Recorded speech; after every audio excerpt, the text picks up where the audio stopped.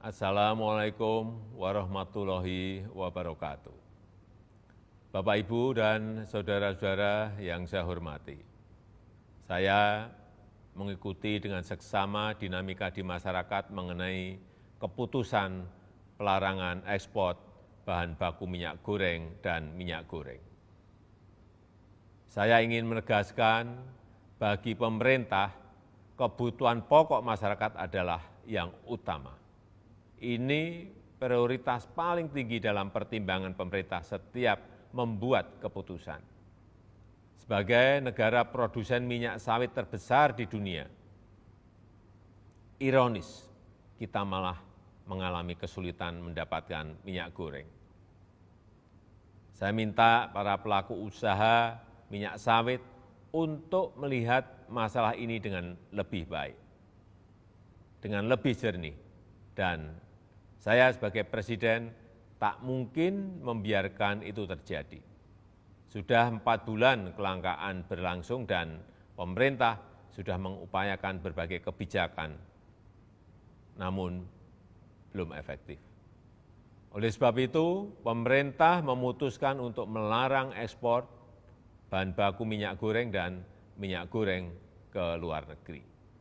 Larangan itu berlaku untuk ekspor dari seluruh wilayah Indonesia, termasuk dari kawasan berikat. Larangan ini memang menimbulkan dampak negatif, berpotensi mengurangi produksi, hasil panen petani yang tak terserap.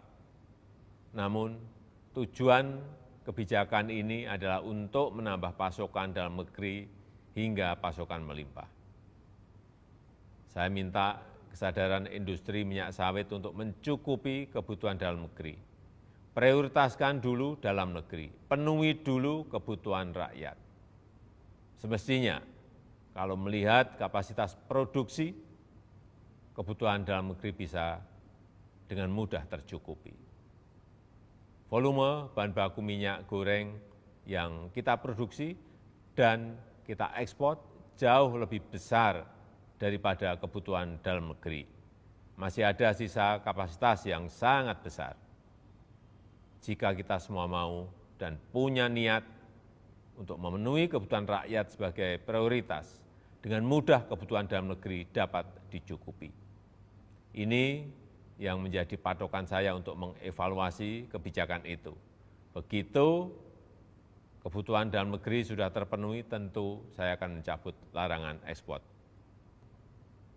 karena saya tahu negara perlu pajak, negara perlu devisa, negara perlu surplus neraca perdagangan. Tapi memenuhi kebutuhan pokok rakyat adalah prioritas yang lebih penting. Demikian yang dapat saya sampaikan. Terima kasih. Wassalamualaikum warahmatullahi wabarakatuh.